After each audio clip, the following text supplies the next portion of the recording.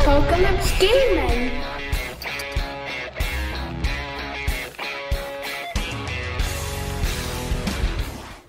Hi there my friends, I promised you a showcase video for my half track. Um, so story behind my thoughts process and how it was painted. Obviously it's a piece of German armour and it's been captured by the Soviets and my thought process was that it didn't get too far before it was turned straight back around. So initially when it was captured by the Russian troops. Um, they slapped a, a, couple of very rough hand painted stars on the front and the rear, as you can see there. So I've put slightly thicker paint, excuse me, I've put a slightly thicker paint than was ever used nowadays to try and emulate that hand painted, rough painted um, look. Um, and at the same time, these guys stuck a couple of slogans on the side. So you've just seen Mother Russia, and then on the other side, we have freedom. Um, I've tried to hand paint them in Cyrillic to make them look a bit like Cyrillic as well. Um, joyous little kit to build, really had fun doing it.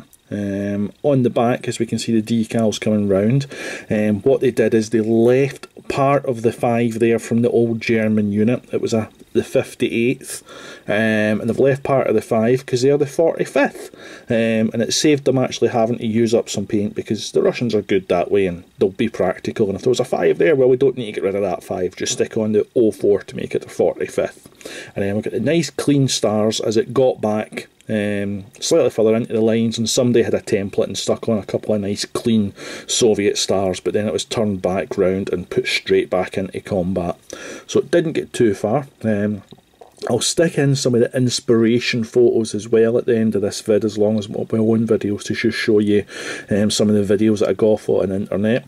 What I did notice heavily was that the Americans um, really, really plastered captured vehicles in their stuff. It must be that old blue on blue friendly fire thing, and the Americans have always been good at. Um, I mean, they were really, really hefty, as you'll see in some of the photos slapped on with the, the American White Star. The Russians were more subtle, they didn't go um, as big um, when they were doing it, and didn't go as many when they were doing it. Um, the idea you see of the, the 45 um, with the German and the Russian decal was something I saw and I captured um, German one that the Americans were doing. So I stole it, said if the Americans do it, the Russians probably do it as well. Um, so I do hope you like it. It was a fun kit to build. Um, that That's really all I've got to say then. So take care, my friends. Bye for now.